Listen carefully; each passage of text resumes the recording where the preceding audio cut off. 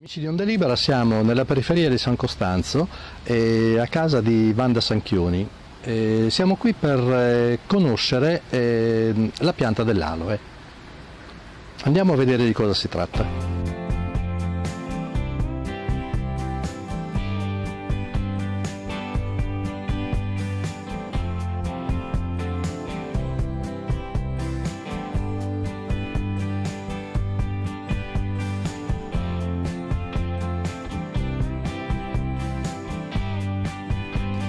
Buongiorno a tutti, vorrei eh, adesso raccontarvi un po' come è nata questa passione verso la pianta dell'aloe.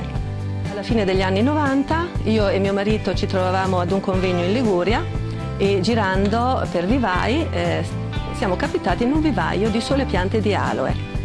E siamo entrati e c'erano due tipologie di pianta, la vera e l'arborescens. Ci siamo un pochino informati con eh, la, la proprietaria e la signora ci ha spiegato che era una pianta medicinale, questa cosa mi ha incuriosito. Mm, naturalmente abbiamo chiesto delle, delle informazioni, ci ha parlato anche di un frate di padre romano che cura questa, con questa pianta. E beh, da lì a poco eh, siamo partiti con una pianta di aloe arborescens anche noi. Abbiamo portato a casa e da lì è nata la nostra coltivazione. E in questi anni, diciamo, in questi 15 anni, le piante si, si sono propagate e fino ad averne adesso una serra. Ora vi mostrerò la mia serra e vi spiegherò come coltivare le piante.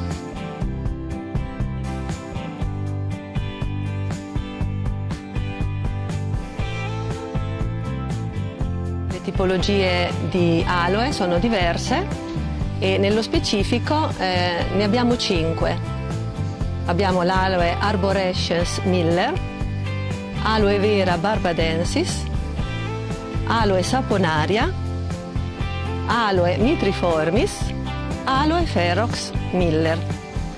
Di queste tre tipologie comunque le più utilizzate in Italia, diciamo, e quindi anche dalle nostre parti, sono l'aloe arborescens miller, l'aloe vera barbadensis e l'aloe saponaria. Partirei proprio da quest'ultima, dall'aloe saponaria, perché forse tra, tre, eh, tra, i tre tipi di aloe è quella un po' meno conosciuta e invece ha ehm, delle caratteristiche al suo interno eh, non da, di poco conto. Nello specifico questa foglia, la pianta della, dell'aloe saponaria, viene utilizzata soprattutto per curare ustione, ustioni solari scottature, tutte quelle scottature che ci si procura anche in casa, in cucina e eh, soprattutto è utilizzata contro le punture degli insetti, zanzare nello specifico, ma un po' tutti gli insetti. Ecco.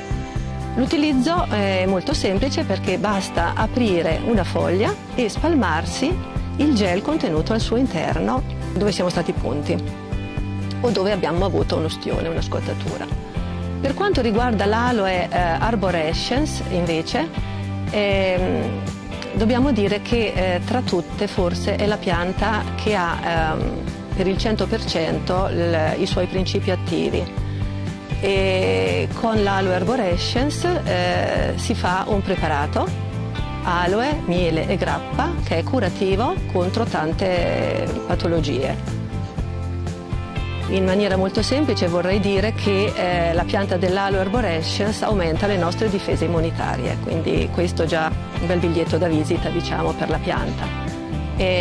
l'aloe vera, eh, anche, anche l'aloe vera ha, vera ha eh, i suoi benefici, soprattutto l'aloe vera la troviamo ehm, commercializzata, ecco, troviamo il succo di aloe vera in commercio oggi. E perché questo? Perché non troviamo il succo di aloe arborescens? Chiaramente è un discorso molto commerciale perché eh, vi farò vedere che la foglia dell'aloe vera è una foglia ricchissima di gel e, e quindi ha una resa commerciale notevole. Non così è la foglia dell'aloe arborescens.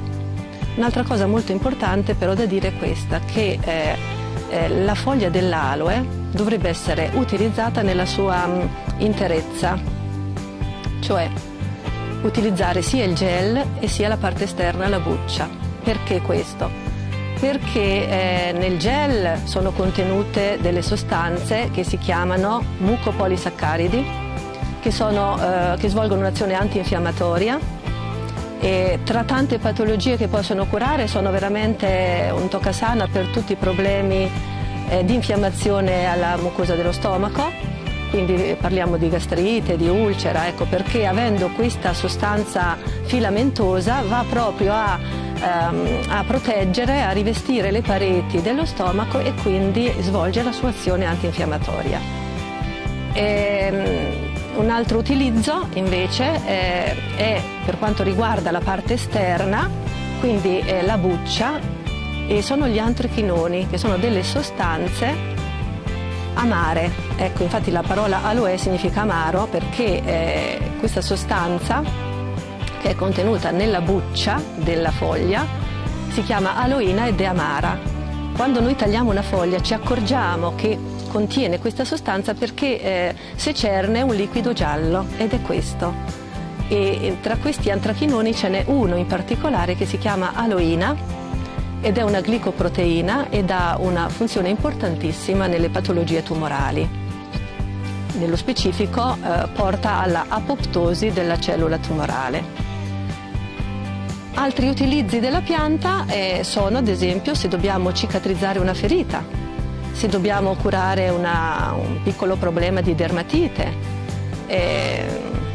un, un, problema di gonfiore alle gambe. Ecco, gli utilizzi sono tanti, sono tantissimi. Ecco, io consiglio veramente a tutti di avvicinarsi a questa pianta perché eh, avere una, una pianta di aloe in casa è come avere una piccola farmacia. Questo che vedete è un oleolito che ho preparato con l'aloe vera. L'oleolito è un macerato oleoso in cui viene messo al suo interno, come vedete, a macerare la foglia dell'aloe. Qua ho utilizzato l'aloe vera, l'ho tagliata a fette e l'ho messa con olio evo extravergine di oliva. Verrà lasciata al sole eh, per circa 30 giorni, un mese, dopodiché il prodotto va filtrato.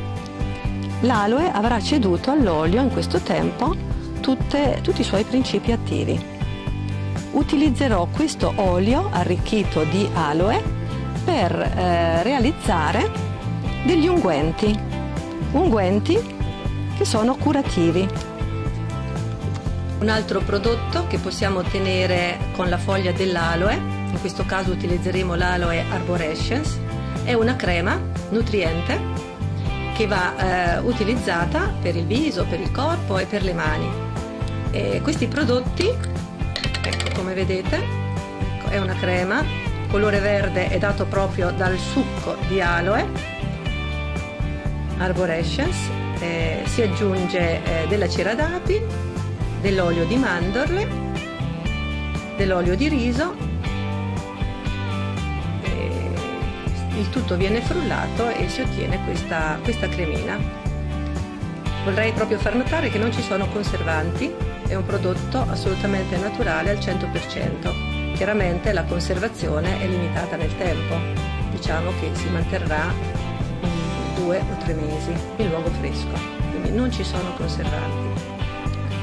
Insegnerò a preparare questi prodotti, sia gli unguenti sia le creme, ma anche il frullato curativo ricetta di padre romano nei corsi che eh, regolarmente sto facendo negli anni.